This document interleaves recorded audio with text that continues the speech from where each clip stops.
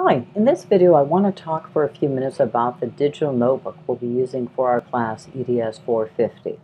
When you're a teacher in your own classroom, your students will use notebooks in order to take notes and organize their ideas as you're teaching. Uh, you might be using a paper notebook similar to the composition book here shown here. That was my preferred style when I had a middle school classroom. It could be a spiral notebook, but more teachers are starting to switch to interactive notebooks that are digital and with COVID-19 for this semester, we're using a digital notebook. I want to walk you through how this is set up. First, we'll go to present mode. So on the cover, you can actually customize it with your name here. And if you click on the tabs, it will walk you through each week. So each tab is a different week, and I've put in one graphic organizer. This particular style of notes, if you haven't seen it before, is called Cornell Notes and on this is an audio to explain how to fill in Cornell notes. Right, on this one, you're going to do Cornell notes. I've scaffolded it more. It's got um, prompting questions, and there's a video attached to this link. Sometimes we use a different organizer. This is a dialectical journal format. This one is a snapshot summary. Sometimes it's just plain yellow pages.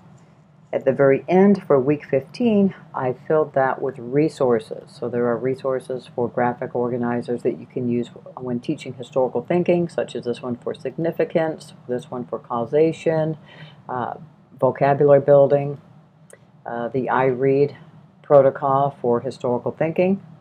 So these are at the end. All right, so on our week, I've gone back to this, you are able to customize this. I'd encourage you to keep up with the table of content so you can see what's on it. You can add a week. If you add something behind, like you add another page of notes to week one, you can add another row there and put it behind. The um, format, if you don't like, let's say you get really tired of watching, uh, sorry, taking Cornell notes, if you want to switch it, click on Slide, Edit Master, it will take you to the different master templates that are here. You can add your own or modify one of the ones that's here. All of these that look very similar, the only thing that's different is right here where it's on a different tab. This is a week 9 uh, template, this is a week 10, so I've moved it for that. But there are other types of templates. If we go down here, here's a plain Cornell Notes. Um, this is just a blank one. Um, we've got the cover. Have different two column notes. So it's up to you. So there will be a few times when we're going to turn in pages from this, and I'll show you how to do that during the semester.